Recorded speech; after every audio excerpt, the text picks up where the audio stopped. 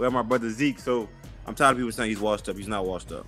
And on his run right here, outside zone, you see the deuce block over to the, to the linebacker for number 86, and he still goes untouched, man. So you know that that line is doing a great job with those backs. You know, number five probably would have tackled him, then probably would have been a joke on the team. Like you let a safety tackle you and you couldn't score. I mean, that's really how it goes. Him and him and Tony P doing their thing. So man, Cowboys, tip my hat off to y'all, man. Keep doing y'all thing.